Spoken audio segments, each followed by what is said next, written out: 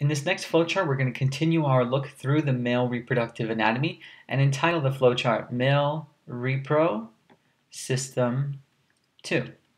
And so the way that we've arranged this look at the anatomical features of the male reproductive system is through basically the pathway that sperm takes. So we've looked at the uh, origination of sperm, which is in the testes, specifically the seminiferous tubules. Then we looked at the storage and maturation of sperm within the epididymis. Then we took sort of a, a pit stop at the scrotum structure to make sure that we understand that it's encompassed outside the body in this sac structure called the scrotum. Now we're going to move forward with our pathway of sperm, essentially. The next path after, let's say, the epididymis, let's say we have an ejaculatory event taking place, what's going to happen is after the epididymis structure has matured and stored the sperm, sperm, let's say the sperm needs to be delivered, the sperm needs to be released. The next path it takes would be to go onto the vas deferens structure or go through the vas deferens. That's our next structure in the male reproductive system.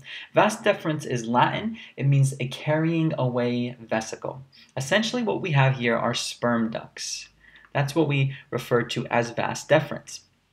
Sperm ducts are going to be sort of going away from the epididymis, uh, away from the epididymis towards the eventual release point, and that's going to be at both epididymi. So the sperm ducts are going to be there, one from each epididymis. So that's important to remember that there are two of these because there are two epididymi, one from each epididymis because there are two epididymis, we need two sperm ducts, and those two sperm ducts are called two vas deferens. Now, what's going to happen essentially is this is going to be a long, another long hollow tube that's going to be from the scrotum structure. That structure is encompassing the epididymis, so of course it's going to be from the scrotum to the pelvic cavity. So it's a, it's a very long structure because we're going all the way internal into the pelvic cavity. This is actually going to be an interesting point in terms of uh, a lot of uh, many of you as future doctors because this is going to be the site of vasectomy. So vas, that's where the vasectomy part comes from. And then when we're saying ectomy, you know that ecto means on the outside, right? And any ectomy process or procedure is about removal. So this is not necessarily the removal, it's sort of a misnomer of the vas deferens. More so, it's actually the ligation of this structure. Ligation essentially means the tying of the structure, um, more specifically in terms of clinical clinical uh, relevance, what's going to happen in this ligation event is that you're going to make sure that the vas deferens is essentially closed. You're going to prevent the vas deferens from doing its job and function in the vasectomy procedure in this following manner. When you have a vasectomy, this prevents sperm, this prevents sperm specifically, just sperm, from entering the seminal stream. So the job of a vasectomy, let's finish writing this, is to make sure that there's no more possible, let's say, offspring. What we're trying to do is a permanent contraception. The reason why this works is because the vas deferens is going to be a sperm duct. It's going to carry sperm away from the epididymis storage region and towards a region where we're going to mix with the seminal stream. We're going to get to the seminal stream in just a second, but just know that sperm is essentially first separate from the overall semen that's going to be produced. So in order for us to, let's say, stop the sperm from meeting that, the, that seminal stream, what we're going to do is we're going to stop it from ever traveling away from the epididymis. How do we do that? We cut off, we ligate its path of entry towards the seminal stream. We make sure that the sperm, the thing that causes, let's say, offspring to be produced because of a fertilization event, is never going to reach the structure or is never going to reach the fluid that will eventually be ejaculated because it's ligated at this vas deferens structure. Okay? So that's a nice uh, clinical relevant point uh, for many future healthcare professionals that are watching this. Uh, furthermore, the vas deferens is also going to be important because each eventually we're going to empty. Okay, so it's going to be another part, another tube. Remember, I said there's a bunch of tubes involved in the male reproductive system. So as it passes through this long tube, it's going to empty, and it empties into the ejaculatory duct. That's basically our next stop in this pathway of sperm. So we're trying to deliver sperm into the female reproductive tract. We have gone from the storage point, from the maturation point at the epididymis. We've gone through the vas deferens, this long hollow tube, um, the sperm duct essentially, and we're now at the ejaculatory duct. So let's see what happens here. At the ejaculatory duct, which we'll entitle in this next part right here, uh, let me rewrite this, ejaculatory duct. So at this region, this is where we're going to have the sperm pass through the prostate gland and we're not going to elaborate on the purpose of the prostate gland just yet. Just remember that a gland secretes, and a gland, this prostate gland is going to secrete important things for the overall semen fluid that's being produced. We're going to talk about the prostate gland and other accessory glands later on, but for right now, after it's passed through the ejaculatory duct, which is again just a continuation of this long tube, the vas deferens is a part of this tube. The next part of the tube would be the ejaculatory duct. Once it's passed through the ejaculatory duct and through the prostate gland and other accessory glands, it's going to join at the urethra. So this is the next part of this long male reproductive tube, the urethra. So that's the next stop of the delivery of sperm. So now, if we're at the urethra, let's take a look here. Once we're at the urethra, what we have to just remember about the urethra in terms of anatomical structure is that this is going to be the point at which urine and semen, both of them, both fluids, are going to pass through the penis. They both pass through penis here. So it's a one-way tube in which both urine and semen are going to pass through. And that's going to be important when we talk a little bit more uh, about the accessory glands later on. So now our pathway of sperm, remember, was from testes where we started, then we went to the epididymis, stored and matured, then we went to the vas deferens, to the ejaculatory duct, to the urethra, okay? And now the next logical step is to uh, sort of highlight the penis structure. So this is another structure within the male reproductive system, very important for the overall delivery of sperm. I would consider this the most important delivery structure, whereas the other structures that we've looked at thus far have been important in delivery, but more so uh, a lot of them have been, especially the testes and epididymis, were focusing on spermatogenesis.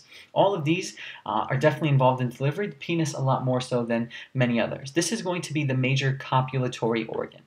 This is going to be the organ that's most involved in sexual reproduction. That's what copulation is.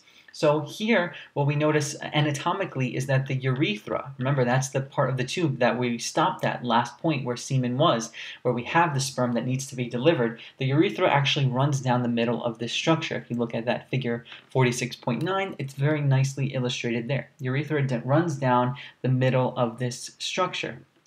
So what we have here essentially is uh, erectile tissue.